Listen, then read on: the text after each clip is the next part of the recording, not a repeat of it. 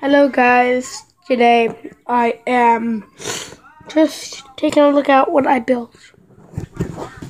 So here it is from this side. Built it out two boxes and a pool noodle. Some tape and well here is the back side. Some tape right there. Baby. Anyway. Here's the other side. And here's that side. Barrel. And there is the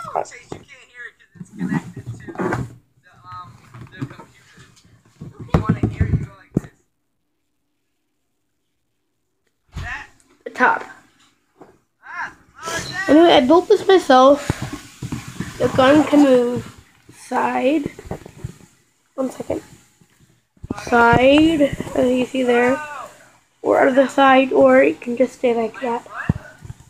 I call this Super Tank. Because it's like giant and full noodle barrel. I showed you that before. Uh, for armor. Um, you can see in here, doesn't really see. Anyway, guys. Um, thank you for watching. Goodbye.